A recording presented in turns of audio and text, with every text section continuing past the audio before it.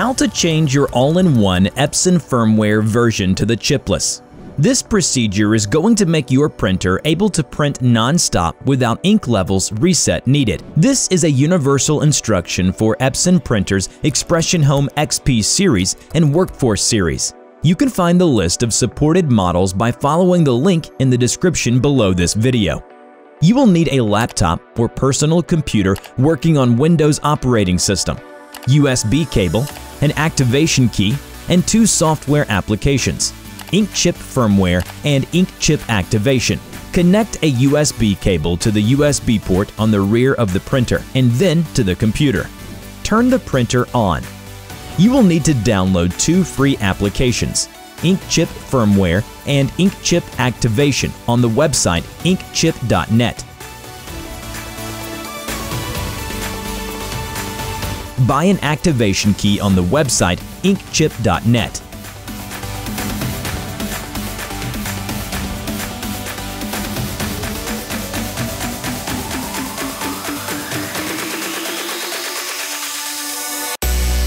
Unzip the downloaded files.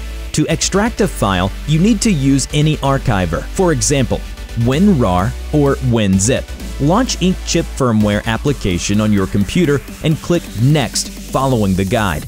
Click the Start button, click Yes. The firmware changing process will start. It's okay if the loading line stops before reaching 100%. You need to reconnect the power cable and just turn the printer on with the power button. If the loading line reaches 100%, your printer will restart automatically. Launch Inkchip Activation application on your computer. Select the printer and click Activate Online. Enter the activation key and click OK.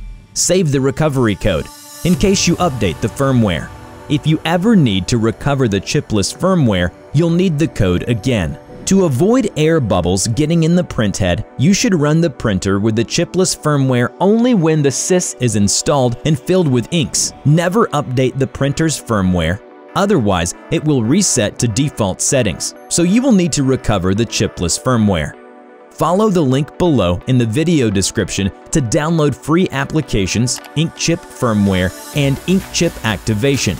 You can buy an activation key on website inkchip.net. If you have any questions, please contact us via email or WhatsApp. We'll help you to complete the firmware successfully as soon as possible. Wishing you good prints!